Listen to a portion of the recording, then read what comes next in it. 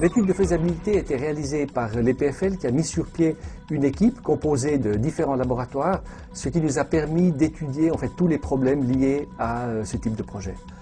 On a réfléchi sur plusieurs solutions euh, possibles, le dirigeable, l'avion, peut-être un mélange des deux.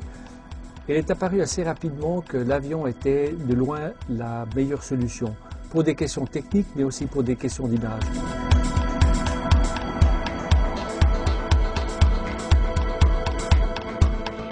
On a réfléchi aussi à mélanger peut-être les avantages de chacun.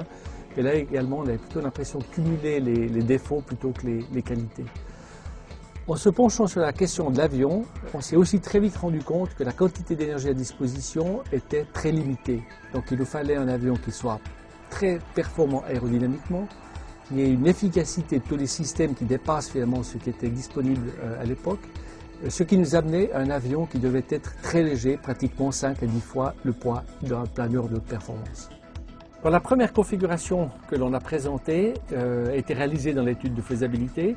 elle tenait compte bien entendu de tout ce qu'on avait découvert, de ce qu'on avait réfléchi, quelque chose de très grand, euh, quelque chose de très performant aérodynamiquement, mais bien entendu tous les détails euh, n'avaient pas, été euh, réfléchis, n'avaient pas été euh, calculés, déterminés. La position des moteurs par exemple était plutôt le fruit de considérations très générales. Début de l'année 2004, on a commencé à démarrer bien entendu sur les études très sérieuses ou plus sérieuses de, de cette configuration-là. Et ça nous a donné la première version qui était quand même assez différente de celle d'études de faisabilité.